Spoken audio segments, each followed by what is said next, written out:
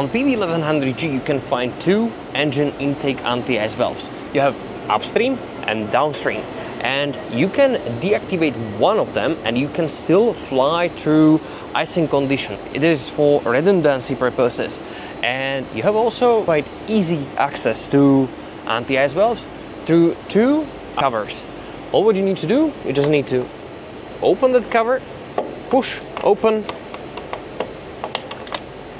it will pop out and you have direct access to engine anti as well.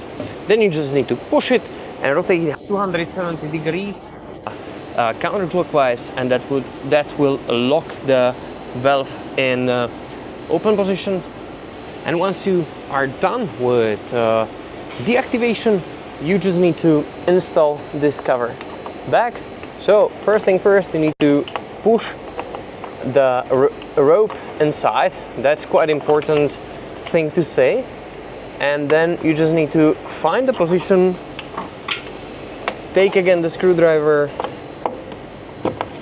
and turn it, close it. Easy as that.